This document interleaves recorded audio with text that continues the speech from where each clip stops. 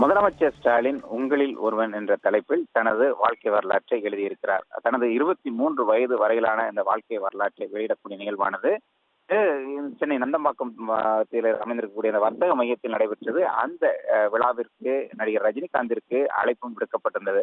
இந்த நிலையில் அன்று அவர் கலந்து கொள்ளாத நிலையில் அவருக்கு முதலமைச்சர் ஸ்டாலின் எழுதிய அந்த உங்களில் ஒருவன் நூலானது அளிக்கப்பட்டிருந்தது.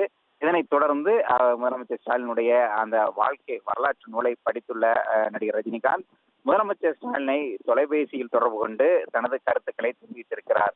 அந்த கருத்துக்களின் தொடர்ச்சியாக முதலமைச்சர் ஸ்டாலின் அவருக்கு நன்றி தெரிவித்து தனது ட்விட்டரில் கருத்துக்களை பதிவு செய்திருக்கிறார். இது அந்த பதிவில் உங்களில் ஒருவன் படித்துவிட்டு தொலைபேசியில் பாராட்டிய நண்பர் சூப்பர் ஸ்டார் ரஜினிகாந்த் அவர்களுக்கு நன்றி என்று தெரிவித்திருப்பதோடு உங்களது வாழ்த்தின் ஒவ்வொரு சொல்லும் எனக்கு மகிழ்ச்சியை மட்டுமல்ல இன்னும் இன்னும் இந்த நாட்டு மக்களுக்காக உழைத்துக் கொண்டே இருக்க வேண்டும் என்ற ஊக்கத்தை அளிப்பதாகவும் அவர் குறிப்பிட்டிருக்கிறார். குறிப்பாக ரஜினிகாந்தினுடைய வாழ்த்து தனக்கு ஊக்கத்தை அளித்து அளித்திருப்பதாக தெரிவித்திருக்கிறார்.